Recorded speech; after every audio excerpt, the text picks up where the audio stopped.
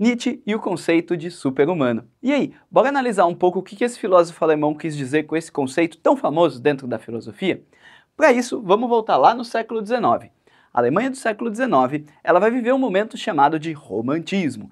Antes disso, ela viveu uma parada chamada de idealismo alemão, que é aquele lance lá do Kant, do Hegel, do Schiller, que essa galera, ela vai propor aí uma superação de tudo aquilo que vem antes. O iluminismo vai romper com todas essas tradições do passado, e essa ruptura vai acabar meio que matando toda uma metafísica anterior a ela. Com isso, a gente vai viver um momento, lá no século XIX, pós-iluminismo, pós-idealismo alemão, em que vai brotar um niilismo. E o que, que, é isso? O que, que é esse niilismo? O niilismo é essa descrença nesses grandes sistemas filosóficos de outrora, ou seja, a palavra niilismo vem do latim nihil, que é essa ausência, esse vazio, o nada. E o nada na filosofia é algo que incomoda muito, pelo simples fato do nada ser, ele já incomoda, porque a partir do momento que ele é, ele deixa de ser nada e tem toda essa brisa muito louca. Mas fora isso, isso deixou Nietzsche extremamente incomodado. Como é que a gente vai viver uma vida que não tem um sentido, que não tem um telos, que não tem um porquê?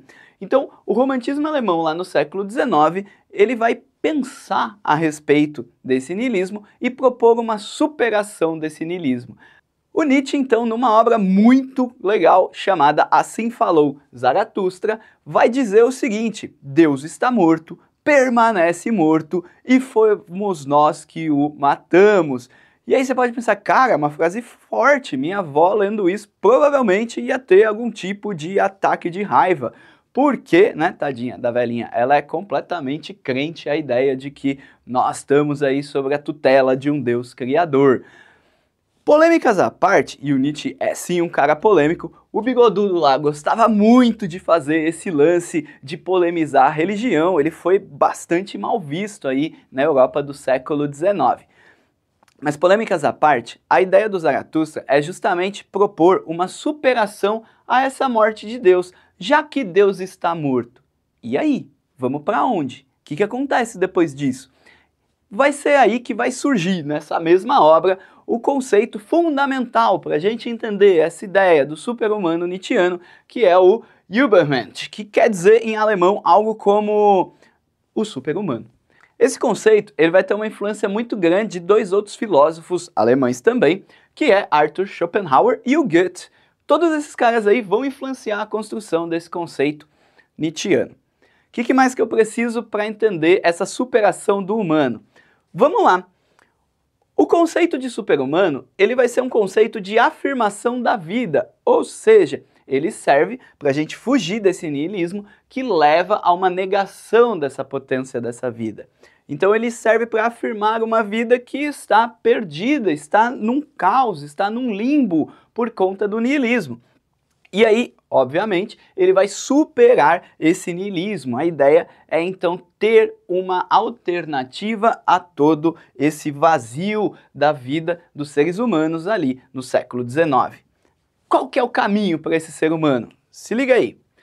Para a gente alcançar, superar a condição do humano normal e nos tornarmos super-humanos, o Nietzsche vai propor o seguinte: você precisa primeiro dizer sim à vida isso é muito irônico, porque quando eu penso no leitor de Nietzsche, eu lembro sempre daquele cara trevoso, encolhido num quarto, se isolando de tudo. E o Nietzsche vai falar: não, cara, diga sim à vida, vai lá, dá a cara a tapa, conhece o mundo, escala o Everest. E não tem nada a ver com o leitor de Nietzsche, né? Que é aquele cara franzino que fica ali, né? E aí, dizendo sim à vida, a gente precisa, além disso, superar uma moral. É aí que ele vai entrar com aquele conceito muito legal naquela obra chamada Genealogia da Moral, quando a gente fala que para a gente alcançar esse super-humano, a gente tem que estar tá para além do bem e do mal. Ou seja, a gente tem que vencer toda essa carga de preconceitos e de preceitos sociais que são endereçadas a nós sem que a gente queira. Isso é, mano, vai além daquilo que o povo está falando, faz o que tu quer a gente tem que cultivar uma vontade de poder, vontade essa fundamental na concepção da ideia nietzschiana, porque a filosofia nietzschiana parte do pressuposto que todos os seres vivos têm uma vontade de poder, uma vontade de agir. A gente tem que cultivar essa vontade. E para finalizar, Fazendo tudo isso, você tem que passar pelo crivo do que o Nietzsche chamou de eterno retorno. Isso é, você tem que ter uma vida na qual, se você vivesse ela eternamente do mesmo jeito, para sempre, ela ainda fosse maneira. Então eu vou levar o meu dia de um jeito que ele seja tão fodástico que se eu repetir ele, vai continuar sendo muito maneiro. Então se alguém propor que eu retorne à minha vida, ela não vai ser uma vida martirizante, ela vai ser uma vida muito louca, porque eu fiz o que eu pude de melhor. Eu superei tudo aquilo que me foi possível. Eu consegui cultivar ao máximo a minha vontade de poder.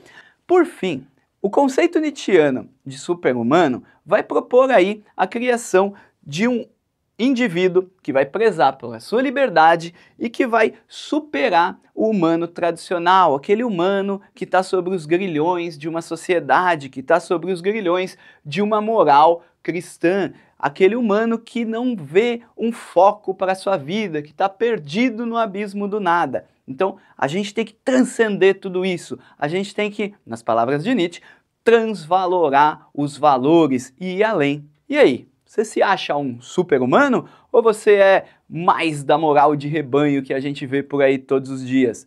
Vai pensando nisso enquanto você assiste os outros vídeos do nosso canal. Eu vou ficando por aqui. Não esquece de se inscrever aí e tchau!